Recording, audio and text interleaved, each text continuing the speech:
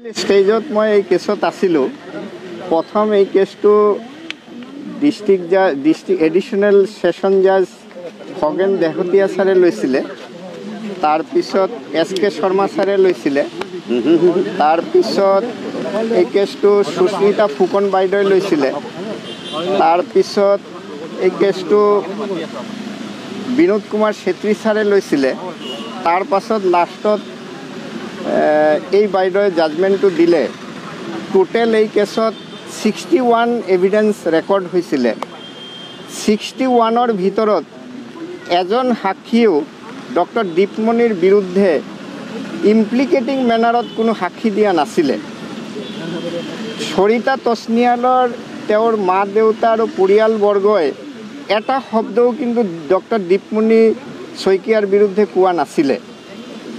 আৰু ইনিচিয়েল ষ্টেজত যেতিয়া ক্ষীৰোমেছক এৰেষ্ট কৰিছিলে তেতিয়া ক্ষীৰোমেছক পুলিচে চৰকাৰী চিকিৎসালয়ত ট্ৰিটমেণ্ট কৰাইছিলে চেক আপ কৰাইছিলে। সেই চেক আপৰ সময়ত তেওঁৰ গাত কোনো জখম পোৱা নাছিলে যিটো সেই জখম সেই তথ্য মেডিকেল তথ্য লৈ পুলিচে কোৰ্টত প্ৰডিউচ কৰিছিলে। সেই সময়ত চি জি এম আছিলে কাঞ্চন নেৱাৰ বাইদেউ। প্ৰডিউচ কৰাৰ সময়ত দেখা গ'ল যে তেওঁৰ গাত গোটেই জখম। তেতিয়া কাঞ্চন নেৱাৰ বাইদেউ চি জি এম আছিলে তেওঁ ডাইৰেকশ্যন দিছিলে পুলিচক যে আপুনি তেওঁক মেডিকেল ট্ৰিটমেণ্ট কৰাওক। আৰু পুলিচ ৰিমাণ্ড দিছিলে। পুলিচ ৰিমাণ্ড পাঁচদিন দিছিলে। কিন্তু পুলিচ ৰিমাণ্ডত ৰিমাণ্ডত থকাকালীনতো reportedly he was tortured on fourteen May' two thousand fourteen আবেলি হিৰোমেছক কোৰ্টত প্ৰডিউচ কৰিছিলে চি জি এম বাইদেউৰ তাত। তেতিয়া কিন্তু সেই সময়ত চি জি এম বাইদেৱে যিখিনি তেওঁক ডাইৰেকশ্যন দিছিলে পুলিচক যে আপুনি তেওঁক ট্ৰিটমেণ্ট কৰাওক সেইখিনি কিন্তু নকৰালে। কি কাৰণে নকৰালে সেইটোৱে কুৱেশ্যন হৈ উঠিলে এই কেছত। হাৱেভাৰ তেওঁ ফৰ্টিন মে' টু থাউজেণ্ড ফৰ্টিনত যেতিয়া পিছবেলা কোৰ্টত প্ৰডিউচ কৰিলে আণ্ডাৰ মানে ইঞ্জুৰি ইঞ্জিয়ৰ্ড অৱস্থাত তাৰপিছত নেক্সট ডে তেওঁৰ কনফেশ্যনেল ষ্টেটমেণ্ট অৰ্থাৎ দুটামান বজাত কোৰ্টত পুলিচে প্ৰডিউচ কৰিলে তেওঁৰ ষ্টেটমেণ্ট ৰেকৰ্ড কৰিবলৈ। তো সেই ষ্টেটমেণ্ট যিখিনি আছিলে those statements are contradictory with the earlier statement তো আৰ্লিয়াৰ ষ্টেটমেণ্ট সেইখিনি কণ্ট্ৰাডিক্টৰী আছিলে। তো সেইটোৱে তেওঁৰ আৰু থ্ৰু আউট এশ total sixty one evidence record কৰিছিলে সাক্ষী। আৰু ছিক্সটি ওৱানৰ ভিতৰত পুলিচ ষ্টেটমেণ্ট অৰ্থাৎ ইনভেষ্টিগেটিং এজেঞ্চি আছিলে ছিক্সটি ফিফটি নাই এইটৰ পৰা ছিক্সটি ওৱানলৈকে কিন্তু কোনো ইনভেষ্টিগে কোনো ইণ্ডিপেণ্ডেণ্ট উইটনেছে আসামীৰ বিৰুদ্ধে তেনেকুৱা কোনো ইমপ্লিকেটিং মেনাৰত এভিডেঞ্চ নিদিলে। হাৱেভাৰ আজি ডিষ্ট্ৰিক্ট জাজ বাইদেৱে যিখিনি জাজমেণ্ট দিলে, তেওঁ খুব জুডিচিয়াছ খুব জুডিচিয়াছ মেনাৰত এই জাজমেণ্টটো লিখিছে। হাৱেভাৰ কিন্তু এইটো there are various grounds for appeal আৰু মই আশাবাদী, হয়তো হাইকোৰ্টত কেছটো গ'লে ক্ষীৰোৰো যিখিনি আজি বাইদেৱে যিটো জাজমেণ্ট দিছে no' doubt very judicious judgment কিন্তু that is appealable there are various grounds for appeal তো হাইকোৰ্টে যদি তেওঁ হাইকোৰ্টলৈ যায় তো মই আশাবাদী ন্যায় পাব। আপুনি ডক্টৰ দীপমণি শইকীয়াৰ মই ডক্টৰ দীপমণি শইকীয়া কৰিছোঁ। শ্ৰমিক টুডি মোৰ ভাই তেওঁ আছিলে। গোটেই কেছখিনি তেওঁৰ শ্বেয়াৰিং হেণ্ড হেণ্ডত মই কৰিছিলোঁ। সমীৰ মোৰ লগতে আছে। গোটেই জেৰাখিনি গোটেই ক্ৰছ এক্সামিনেশ্যনখিনি গোটেইখিনি ময়ো কৰিছোঁ ময়ে কৰিছোঁ। কিন্তু সমীৰ মোৰ লগত আছে তেওঁ যথেষ্ট মোৰ লগত সহায় কৰিছে তেওঁ আছেই মোৰ লগত। ইনিচিয়েল ষ্টেজৰ পৰা সমীৰ মোৰ লগত আছে আজিও আছে। আজি চেণ্টেঞ্চ হিয়াৰিঙতো সমীৰৰ লগতে ময়ে আছোঁ। আৰু গোটেই কালি অহা কাইলৈ দহটা বজাত এই হিৰোৰ চেণ্টেঞ্চ হিয়াৰিং হ'ব। তাৰ টেন থাৰ্টিত তাৰপিছতে ন্যায়ালয়ৰ এটা সিদ্ধান্তত আহিব কি কৰা যায়।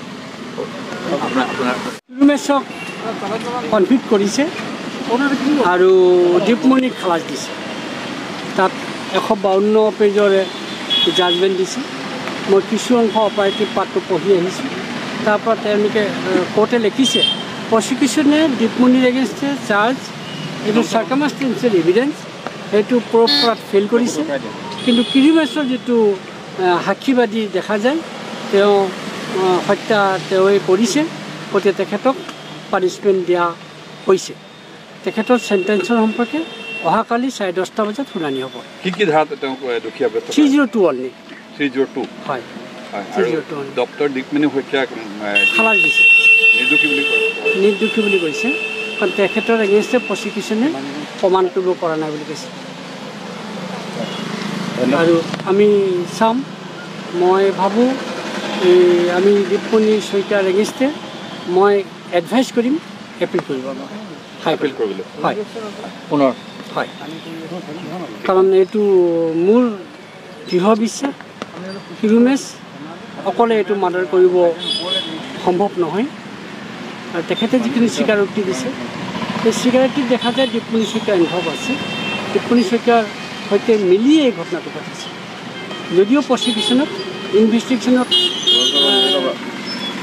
অহা নাই বুলি কৈছে কিন্তু আমি ইয়াৰ এগেইনষ্টে এই হাইকোৰ্টত যাবৰ কাৰণে অপিনিয়ন দিম।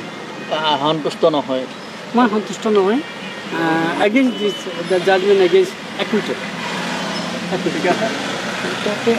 মই অপিনিয়ন দিম আৰু যে এইটো হাইকোৰ্ট কৰা আচ্ছা কিৰুমেছে কি চাঞ্চল্যকৰভাৱে যিটো বৰ্ণনা কৰিছিলে আপোনালোকৰ আদালতত সেইটো অসমবাসী ৰাইজক ক'ব নেকি? আদালতত তেখেতে কৈছিলে যে প্ৰথমে কিৰিমেছৰ লগত দীপমণিৰ চিনাকি হয়। দীপমণি যে লগত চিনাকি হয় কয় তুমি কিমান পইচা পোৱা? কিমান পইচা? ইমান কম পইচাৰে ঘৰ চলে নেকি? যদি নচলে তুমি মোক মই তোমাক সহায় কৰিম তুমি মোক এটা কাম কৰি দিব লাগিব।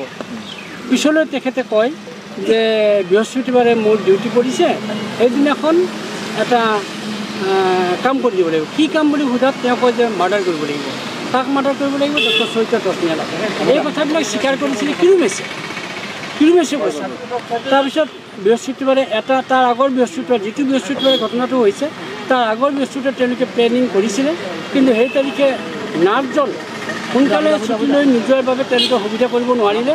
আৰু নেক্সট বৃহস্পতিবাৰে নাৰ্ছজনক প্ৰলোভন দেখুৱাই সোনকালে পঠিয়াই দিয়ে পঠিয়াই দি তেওঁলোকে মাৰ্ডাৰ কৰা বুলি কিৰুমেছে কৈছিল ডক্টৰ দীপমণি শইকীয়া এজন মানে আনঅথৰাইজলি এবচেণ্ট থাকে।